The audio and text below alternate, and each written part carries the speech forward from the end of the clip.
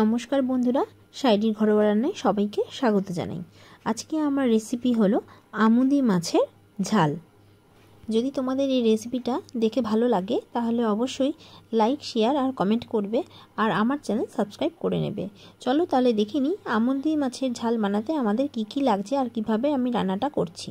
এখানে আমি নিয়ে নিয়েছি আড়াইশো গ্রাম আমুদি মাছ। আমুদি মাছগুলোকে ভালো মতো পরিষ্কার করে আমি ধুয়ে নিয়েছি। এবার আমুদি মাছের মধ্যে আমি দিয়ে দিচ্ছি ওয়ান টিস্পুন হলুদ গুঁড়ো আর দিচ্ছি ওয়ান টিস্পুন লবণ। লবণ আর হলুদ দিয়ে আমুদি মাছগুলো ভালো করে আমি ম্যারিনেট করে নিয়েছি। এখন আমুদি মাছগুলো ফ্রাই করার জন্য একটা নিয়ে নিয়েছি কড়াই আর তার মধ্যে আমি দিয়ে দিলাম ফোর টেবিল স্পুন তেল। এবারে তেলটা বেশ ভালো মতো গরম করে নিয়ে তার মধ্যে আমি আমুদি মাছগুলো এক এক করে দিয়ে দিচ্ছি।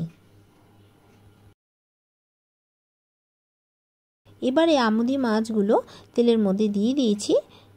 এখন আমুদি মাছগুলোকে বেশ কড়া করে ভেজে নিতে হবে।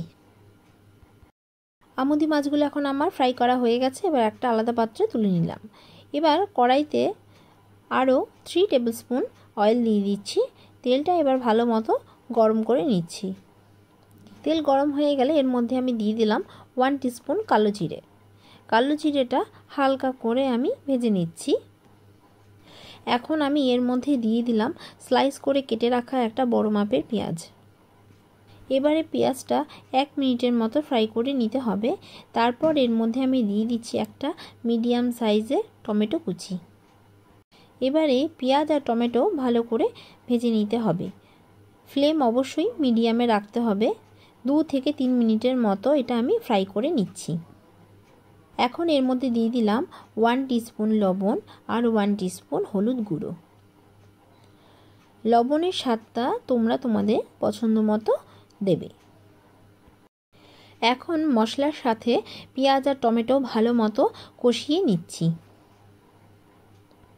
এর মধ্যে দিয়ে দিচ্ছি one teaspoon Kashmiri red chilli powder এবারে মশলাটা আরও একবার ভালো করে আমি কষিয়ে নিচ্ছি।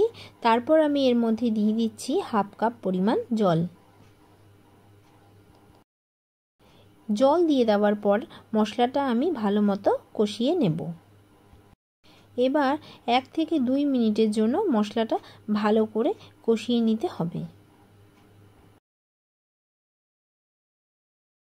দেখো, যখন এই ঝোলটা ফুটতে শুরু করবে, তখন আমি এর মধ্যে দিয়ে দিচ্ছি আমুদি মাছ ভাজা। ফ্রাই করা আমুদি মাছগুলো এখন আমি এর মধ্যে দিয়ে দিলাম। এবারে মিডিয়াম ফ্লেমে রেখে আরও কিছুক্ষণ আমি ফুটিয়ে নিচ্ছি। এখন এর মধ্যে আমি দিয়ে দিচ্ছি কুচিয়ে রাখা ধনে পাতা এবার ধনে পাতাটা এই গ্রেভির সাথে ভালো করে আমি মিশিয়ে দিচ্ছি। এরপর এর মধ্যে আমি দিয়ে দিচ্ছি দুটো চিড়ে রাখা কাঁচা লঙ্কা। তোমরা চাইলে কাঁচা লঙ্কাটা প্রথমেই ইউজ করতে পারো। আমি এখানে কাঁচা লঙ্কাটা শেষে ইউজ করলাম। আমাদের তৈরি হয়ে গেল আমুদি মাছের ঝাল। গ্যাসের ফ্লেম বন্ধ করে দিয়ে এবার আমি গরম গরম সার্ভ করে দিচ্ছি।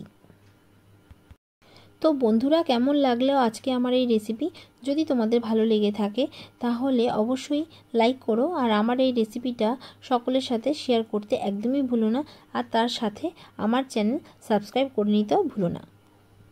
আবার আমি চলে আসব নেক্সট একটা নতুন রেসিপি নিয়ে।